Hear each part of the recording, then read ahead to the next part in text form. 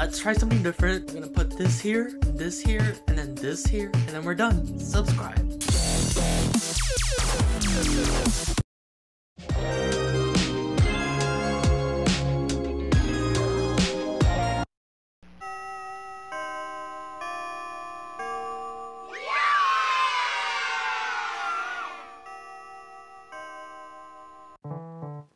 So, jokes aside, I need your guys' input. For the rest of the series, should I post the building footage or just share the ride IDs plus a park update-ish?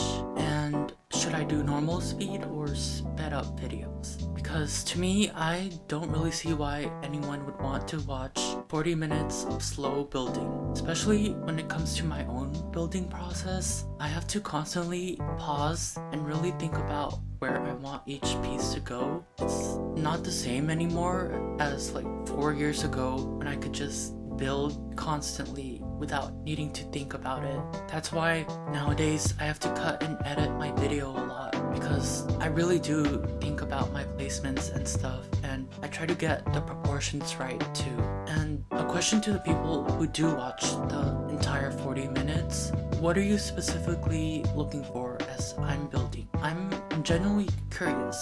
So yeah, please, please, add your thoughts in the comments. I want to make this enjoyable for you. For now, I'm just gonna leave the rest of today's footage here. I've always wanted to rebuild this. I'm low-key so embarrassed by my old videos because of how pixelated they are. Like, imagine a 15-year-old playing Roblox on their crappy laptop, and then uploading it. I'm over it though. Here I am, always improving thanks to you guys.